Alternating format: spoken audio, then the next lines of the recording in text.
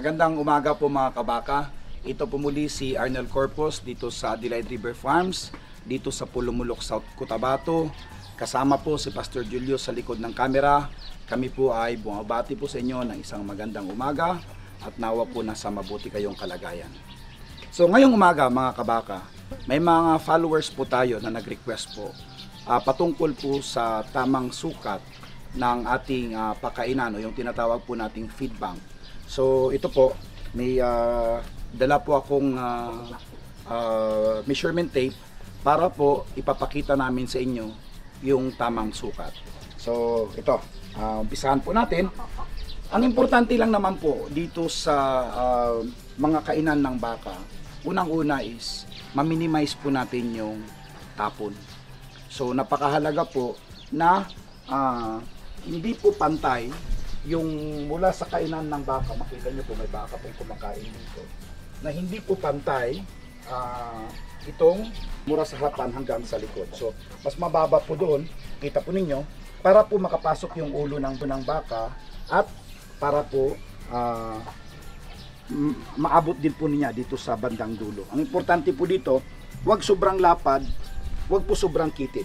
Ang problema po pag sobrang lapad ay hindi po maabot ng baka yung pagkain. So kailangan po tamang-tama lang at dito nga ipapakita namin sa inyo ang sukat mula po doon sa loob hanggang dito po sa labas ay nasa mga ah, 28.5 inches po o halos ah, yes 28 inches po ang sukat ng bunganga ng ating ah, feed bank.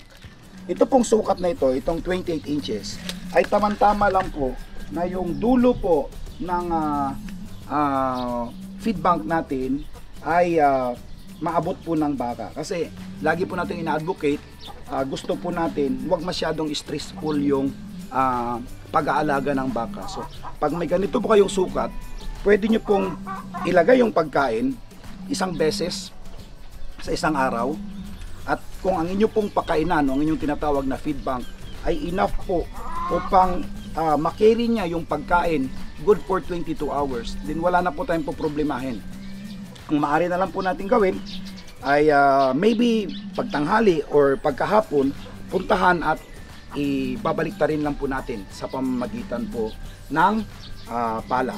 Isa po pong mahalaga ay itong sukat po mula sa lupa papunta po rito sa taas. So ito po ay approximately po is mga 24 inches. Ayan. Bakit po mahalaga ang tamang sukat po nito? Ito, 24 inches lang po siya ah, approximately. Dahil ito po ang problema po natin. Pag sobrang taas po nito, hirap naman po tayong kumuha. For example, ah nandito po sa floor, may mga iba po kasi na sinimento po nila yung feeding alley nila. Yun pong pag-carry po natin ng ingredients mula dito sa floor papunta po dito. Pag sobrang taas po, syempre pag ah, gumagamit ka ng pala or fork o kaya bubuhat ka, medyo mataas po yung ah, pagbubuhatan mo. So, hindi naman natin kailangan ng sobrang taas. So, ah, ito po nasa tamang sukat lang po ito. Nasa 24 ah, inches po. So, yun po ang uh, nire-recommend po natin. Now, aatras po tayo ng konti, ipapakita lang po natin yung actual shape po nito. Mahalaga din po kasi ang actual shape po nitong kainan po natin. Katulad po nito, makita po ninyo, mula po rito medyo uh, nag-semicircle po siya at may stopper. Ito napakahalaga po itong stopper na to. Um, dahil pag wala po ito, may mga design po kasi ah, lalong-lalo na po sa mga dairy farms na diretso lang po ito at saka ito wala pong dingding. Ang problema po pag wala pong dingding ang inyong pakainan ng baka ay ah, kailangan po every 30 minutes nandoon kayo dahil ibabalik po ninyo yung pagkain pabalik. Otherwise, lalampas po yung pagkain doon sa malayo at hindi po kayang abutin ng baka. Siyempre, wala naman pong kutsara flavor yung baka po natin para hihilain po pabalik. So, importante po may dingding. No? Importante po na may ganitong ah, space. At saka sabi ko nga, dapat tama lang po yung layo papunta rito. Otherwise, pag sobrang layo din po ng dingding ninyo, useless din po. So, ang nangyayari po niyan, pag sobrang lapad o wala pong dingding yung inyong pakainan, ay mai-stress po kayo dahil kailangan nyo pong bumalik every 30 minutes para po ibalik yung pagkain sa harapan po ng inyong baka. So ito, try po natin sukatin. Ah, itong pabilog po nito, itong semicircle po nito, itry po natin sukatin para malaman lang naman po natin ah, ano po yung approximate measurement. So dito po makikita po natin nasa around 53 inches po yung buong pabilog. So hindi po ah, masyadong accurate yan pero more or less 53 inches po yung kailangan po natin na sukat mula doon sa bunganga papunta po rito sa dulo sa kabilang side. So ayan po, ganyan po kahalaga yung pakainan. Ang ah, ang susunod naman po is marami po ako nakitang baka na mali po yung sukat ng flooring papunta naman po dito sa harapan. So pa-check lang po natin, ipasilin po natin kay Pastor Julius kung kaya niyo pong kunin na mula po dito sa flooring papunta po rito sa taas ay nasa ah, 22 inches. So ibig sabihin, halos dalawang pulgada ang diferensya doon sa kabila or mas mataas lang po siguro ng konti. Pero ito po ay nasa ah, almost 22 inches.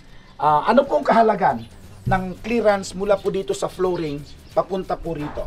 Okay, importante po yan dahil pag mali po yung kung ang flooring po ninyo ay sobrang taas at mababa po itong wall nito, ang mangyayari po niyan ay lumuluhod po yung inyong baka no, habang kumakain.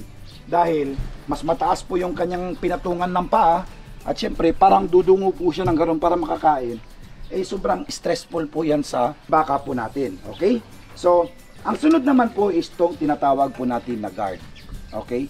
Itong guard po natin, kailangan po to ah, hindi po, makita po ninyo, medyo pasok po yung guard. Pero kung titingnan po natin, ang taas po nitong guard, mula po sa simento, papunta po dyan, ay nasa, ah, nasa 19 inches po. 19 inches. Yan po yung slot na papasok yung ulo ng baka. Pero, medyo papasok po yan. Mula po dito sa poste, ayan, ang poste po natin ay nasa ah, 6 inches po ang kanyang ah, abante papunta rito. Mahigit pa yan, mga siguro mga 6 6 in 1 fourth, ah, mga ganyan po, no? Papunta. Importante po to, kaya nakita nyo, I don't know kung makita nyo yung ah, bakang kumakain doon. Nakita nyo, relax na relax po yung bakang kumakain doon. Nakita niyo hindi po napupwersa yung kanyang bandang liigan. At saka nakita nyo po yung dulo ng kanyang nguso ay ah, umaabot po hanggang dulo. Ibig sabihin, kahit po iwanan namin ng pagkain to buong maghapon, wala po nagiging problema ang ating mga baka. Dahil hindi na po kailangan ah, ibalik. No? Napakalaking ah, manpower hours po yung ginugugol po natin. Pag hindi po tama itong dingding natin, dahil kailangan nga every 30 minutes nandiyan tayo at ibabalik. Kaya nagiging stressful po yung ah, pagiging cattle farmer po natin. At ang second rail naman po, mula po rito papunta dito ay nasa ah, 15 inches din po. Hindi po siya straight na sukat. Medyo pumasok po siya sabi natin kanina ng mga 6 inches.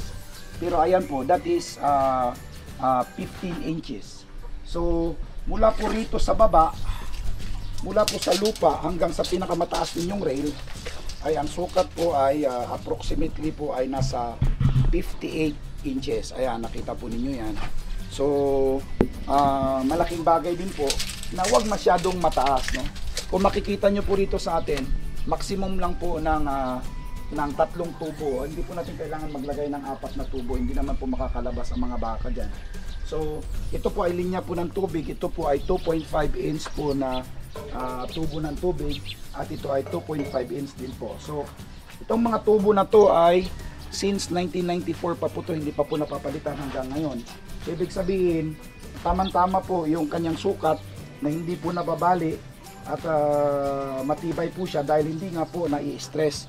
Ang problema po natin minsan, pag masyado natin dinikit dito, ayun, ah, nag, nagbe-bend po dahil naitutulak po ng baka lagi pag kumakain yung baka. So, importante po to na hindi din po ma-stress itong ating mga tubo. So, ayan po, makita po ninyo, um, ito po yung sinasuggest po natin. Siyempre, by the end of the day, pag nagplano po kayo sa sarili nyong bakahan, nasa sa inyo po yan. No? Ah, may mga ginawa na po tayong plano, good for 20 heads. So, pwede nyo pong ano, pwede nyo pong ah, tingnan itong plano na to at makakatulong po. By the way, sa atip po, mula rito, ah, tingnan lang natin kung makunan natin ang tamang sukat mula sa mula po sa taas hanggang sa pinaka ah, ano po ng atip. Ayan. Ah, tignan po natin. Yan po ay nasa 92 inches. 92 inches po mula po dyan sa ah, ah, pinaka puno po ng trusses. 92 inches po yan. So malamang po yung sa taas niya, abanti lang po ng mga 12 inches. Ah, tignan po ninyo kung um, pwede pong makatulong sa inyo tong design na to at ah, ah, sana po ngayong umaga may natutunan po uli kayo. So pinaka-importante po, isa-summary ko lang, itong dingding na to, dapat wag masyadong dikit, wag masyadong ah, malayo. Ito naman po, ang height po niya, tamang-tama lang po yung sukat at saka yung relasyon po ng floor at saka nung ah, lower part ng feedback natin ay mahalaga. So, sana ah, ngayong umaga may natutunan po uli kayo. Huwag niyo pong kalimutan, ah, request po namin, malapit na po tayo aabot ng ah, 10,000 followers sa YouTube. So kung gusto niyo pong marami pa po tayong mga magsasaka ang ah, matulungan, ah, paki-subscribe ah, and ah, paki-push po yung ah, bell notification para una po kayong makakuha. By the way, ah, sa YouTube channel hindi po kami masyado nakakasagot. So kung may mga tanong po kayo, mas maigi po na doon niyo po itanong sa Facebook page po natin, Adelaide River Farms. At uh, paki-like na lang din po and follow yung page po natin para po lagi niyo po nakikita pag may bago po tayong video. So sa muli, ito po si Kabakang Arnel Corpus. Kasama ko po ngayong umaga si Pastor Julius sa likod ng kamera. Sa ngalan po ng ating partner na si Paul Arcurisa na nasa Manila. Kami po ay nagpapasalamat at uh, pagpalain po tayo ng Panginoon.